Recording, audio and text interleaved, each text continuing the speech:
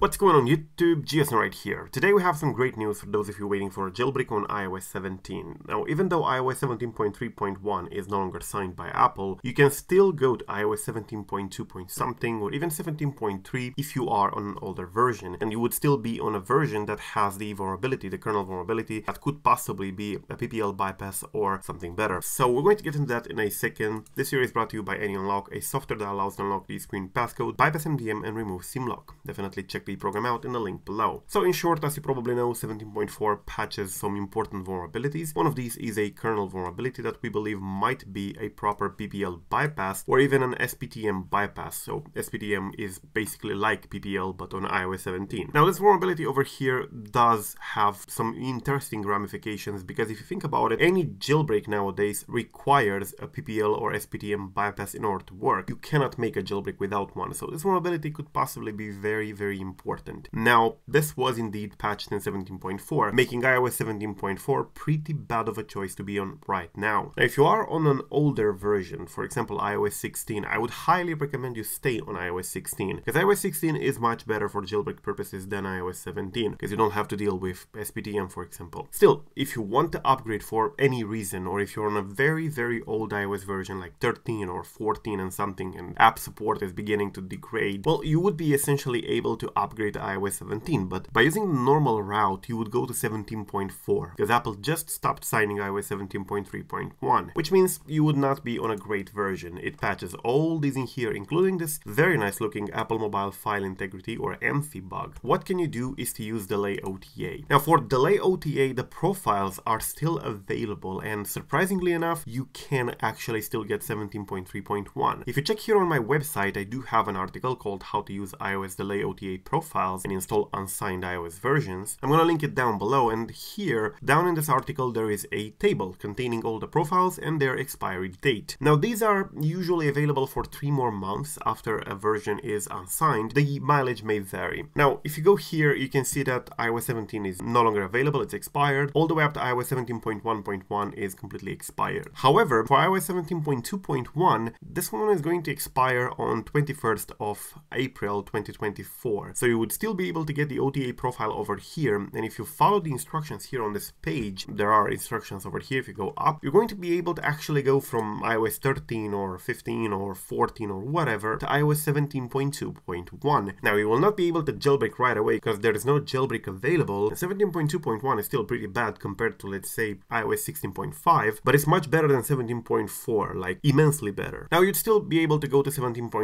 and 17.3.1 as well, though I would not recommend recommended. If you can, go to 17.2.1. Still, iOS 17.3.1 will still be available all the way up to basically June. So you do still have a lot of window to upgrade to a version that can still have that bug that we believe it's a PPL bypass bug and all these kernel vulnerabilities over here. There is a catch though with delay OTA. You cannot go down. You can only go up. So you cannot use delay OTA to downgrade from iOS 17.4. You can only use delay OTA profiles to upgrade from old versions. So if you're running a very old old version that doesn't have great app support anymore and you want newer features and a newer version to be able to use apps, you can use this method and still go to 17.2.1, which would be much better for jailbreak purposes than say 17.4. However, if you're on 17.4, downgrading back is not possible. These do not go in reverse. If you are on 17.4 right now, well, you're screwed. You should stay on 17.4, but there's not much you can do at the moment and it's pretty bad of a version. All iOS versions will eventually be jailbroken as time passes, just stop updating your phone. That's basically it. Thank you for watching. I will link this down below if you want to check out the instructions. And I would highly advise to go ahead and do it if you want to do it. Do the update to a proper version right now. Do not update to 17.4 though. Pretty bad version. Thank you for watching. I'm GeoSn0w. Till the next time, subscribe to stay updated and peace out.